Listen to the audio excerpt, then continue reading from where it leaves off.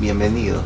Hoy hablaremos del Floyd Rose, amado y odiado a la vez por la mayoría de los guitarristas, el dolor de cabeza de la mayoría de guitarristas. Vamos a, ver qué soluciones planteamos, algunos trucos que he ido encontrando a lo largo del tiempo que vengo usando la guitarra.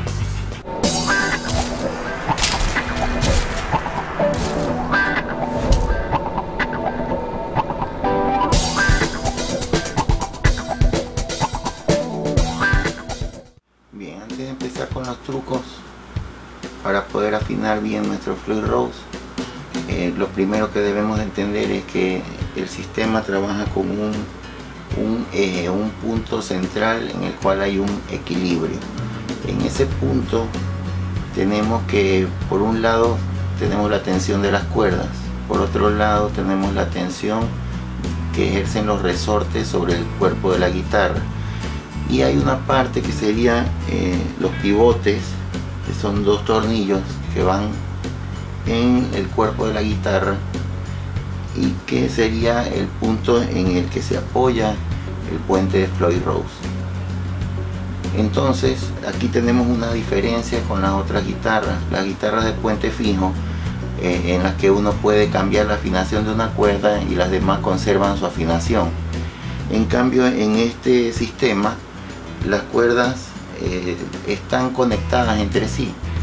Si yo eh, ajusto una cuerda estoy modificando la tensión del puente, por lo tanto estoy también modificando a todas las otras cinco cuerdas. Pero entonces, ¿cómo afinamos?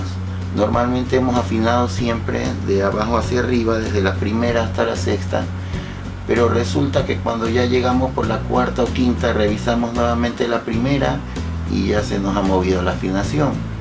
Eso es lógico. Entonces, el método que vamos a utilizar eh, consta de los siguientes pasos. Primero, el orden en que vamos a afinar las cuerdas. Si, tu afinación está, eh, tu guitarra está completamente desafinada, pues tendrás que afinarla primero de la clavija, aflojando los seguros.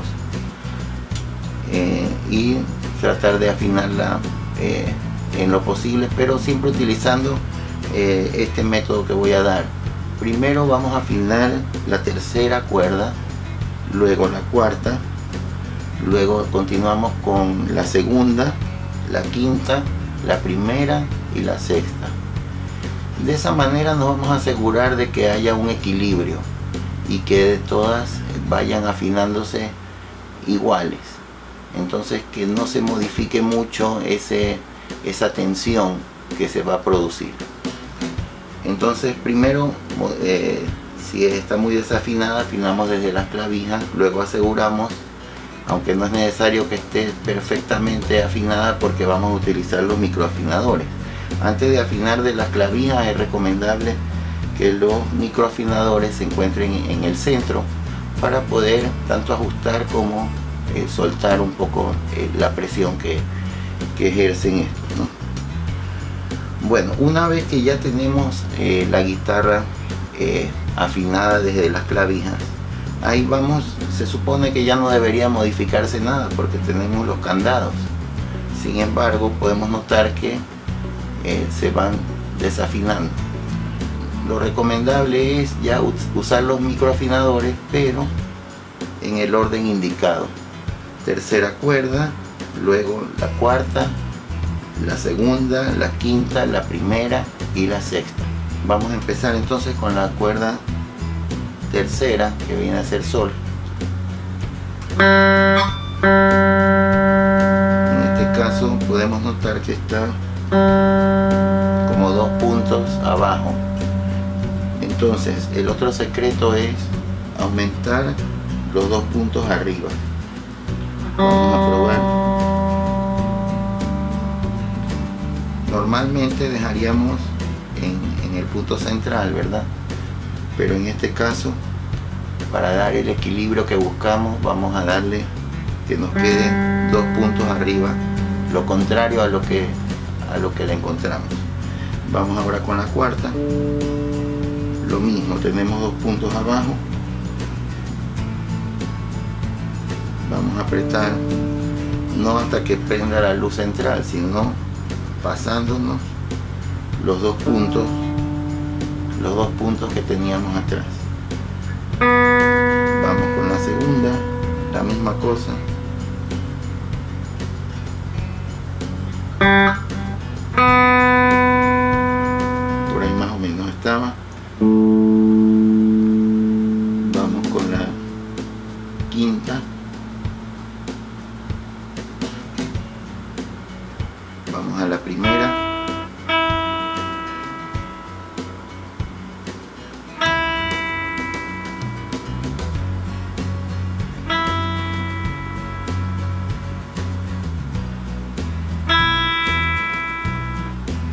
vamos con la sexta.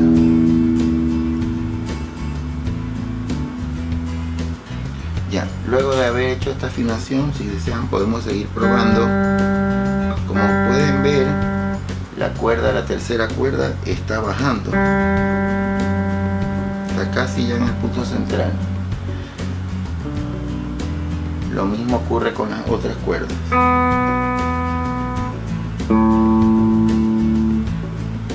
antes de, ver con precisión tenemos que hacer unos cuantos bendings.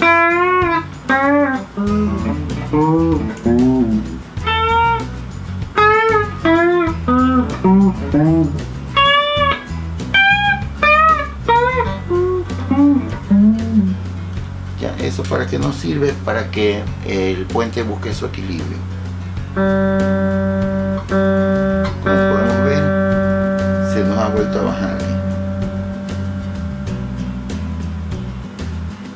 así mismo nos pasamos demasiado. Por ahí más o menos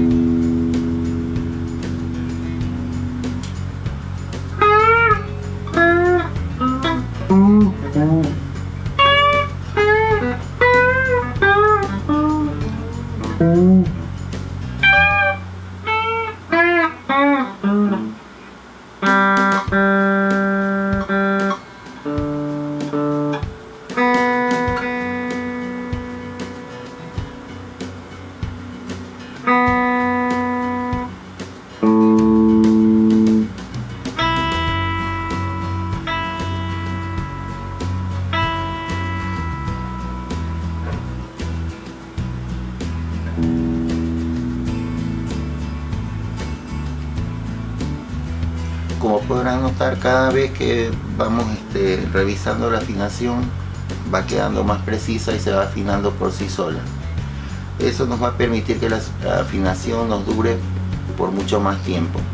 Eh, cuando dejamos de un día para otro la guitarra y la tomamos nuevamente es importante hacer los bendings antes de, de cambiar nada antes de usar los microafinadores. De esta manera tal vez eh, lo más probable es que eh, la encontremos afinada porque por lo general todas las cuerdas pues ya quedan eh, sincronizadas. Y entonces logramos ya tenerla siempre a la misma medida. Lo único que si hay un movimiento siempre del puente verdad puede haber más o menos tensión entonces es importante hacer esta parte de los bendings para encontrar ese punto de equilibrio y que no tengamos problemas de desafinación. Bueno, espero que este, estos consejos que les he dado pues les sirvan. Si tienen inconvenientes con la afinación aún después de haber explicado esto, lo más probable es que haya algún problema en la guitarra de desgaste, puede ser de resortes, puede ser de, de los pivotes. Pues si ese es el caso, más adelante haré un nuevo video donde podremos detectar esa falla.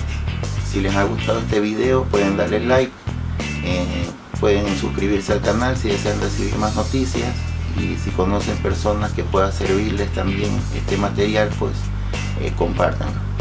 Nos vemos pronto.